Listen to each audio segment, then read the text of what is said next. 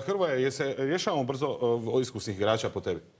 Pa to je teško sad uh, za komentirati jer sigurno da svaki trener koji dođe ima neku viziju. Ne?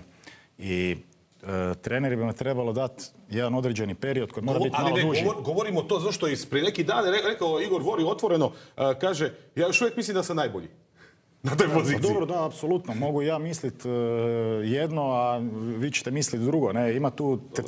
Izbornik, stožer koji su neke Dobro, stvari bi- bili Hrvoje, bili. Hrvoje uh, Horvat uzeo uh, Igora Vore sa sobom. A pa to je sad teško za reći. Pa dobro, daj, trebala, ne. bi puno, trebala bi puno dublja analiza, trebalo bi vidjeti šta se želi igrati u obrani, šta se želi igrati u napadu. Sigurno da je, da je Vori top pivotmen i da, da je on bio i njima debelo vjerovatno u, u računici. Ne?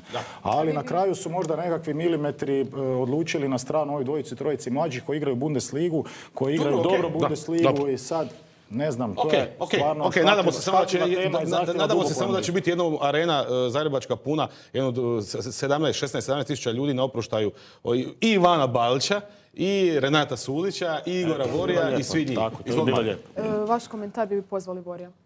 Sad je Ne bi rekao. uopće, ne bi uopće razmišljao. Šta, sad- E, očekivanja od Islanda i Norveške? Pa moje su očekivanje uvijek ista. Ja vjerujem da ćemo pobijediti i vjerujem da ovaj, možemo napraviti dobar rezultat. Ivanović je u jednom trenutku rekao, svi su negdje u nekakvim kalkulacijama, svi negdje k- kombiniraju da li mogu ovo, da li će se dobiti nekoga sa 5, 7 ili 1 razlike. Ovaj, mislim da na ovakvim prvenstvima zaista ne treba kalkulirati. Ovakvim, na ovakvim prvenstvima jednostavno morate ići iz utakmice u utakmicu i tražiti pobjedu. Da li će to biti 1, 3, 5 ili 7 razlike, mislim to je zaista nebitno. Ali naravno uvijek što, što, što kvalitetnije ulazite u susret, naravno da će susret se ovaj, puno bolje razvijati. Samo prvenstvo, jer na kraju krajeva stičeš e, sigurnost u obrambenom napadačkom dijelu. Jednostavno se počneš drugačije osjećati e, kad, kad počneš pobjeđivati nego kad prvu utakmicu izgubiš ili igraš lošu utakmicu. Onda naravno i moral polako počne padati, počinju prigovaranje jedan drugom e, zašto ti, zašto ne ja, zašto... Tako da je meni zaista bitan ovaj, taj odnos samo na terenu, da oni zaista budu klapa, da budu dobro društvo i da poštuju jedan drugog i onda neće ni rezultat sigurno izostati iz toga. A da Norvežani misle